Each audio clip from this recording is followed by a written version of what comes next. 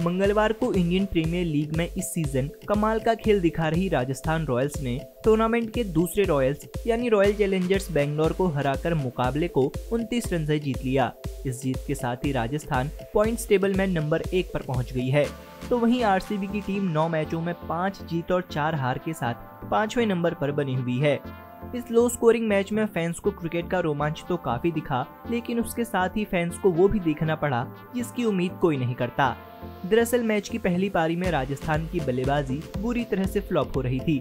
लगातार गिरते विकेटों की वजह से रन बनाने की रफ्तार बेहद कम थी। फिर मैदान में उतरे रियान पराग, जिन्होंने इस सीज़न अभी तक ज़्यादा इम्प्रेस नहीं किया था। लेकिन उन्होंने कल अर्धशतक जमा कर अपनी टीम को मुश्किल से निकाला। उन्होंने हर्षल पटेल के आखिरी ओवर में दो छक्के, एक चौका और एक डबल लेकर 18 रन बनाए थे। इसके बाद जब वो वापस डगआउट जाने लगे तो दोनों के बीच गहमा गहमी देखने को मिली। बात इतनी बढ़ गई कि दोनों टीमों के खिलाड़ियों को बीच बचाव के लिए आना पड़ा था, लेकिन ये लड़ाई यही खत्म नहीं हुई।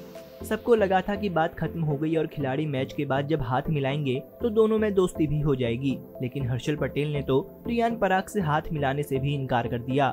हर्षल पटेल के आउट होते ही आरसीबी की टीम ऑल आउट हो गई थी, जिसके बाद हर्षल और हेजलवुड ड्रेसिंग रूम की ओर लौटने लगे तो राजस्थान रॉयल्स के खिलाड़ियों ने दोनों से हाथ मिलाया।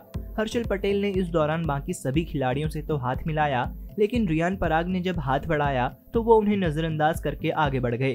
इसके बाद रियान पराग ने पीछे मुड़कर देखा भी, लेकिन हर्षल पटेल आगे निकल गए। हर्षल की इस हरकत के बाद सोशल मीडिया में फैंस उन्हें जमकर खरी खोटी सुना रहे हैं।